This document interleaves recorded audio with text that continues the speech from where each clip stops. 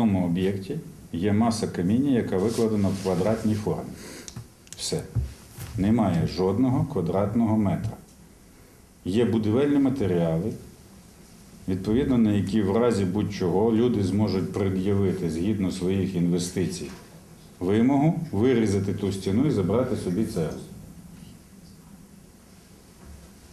І жоден суд не призначить жодного квадратного метру, адже правостановлюючих документів нема.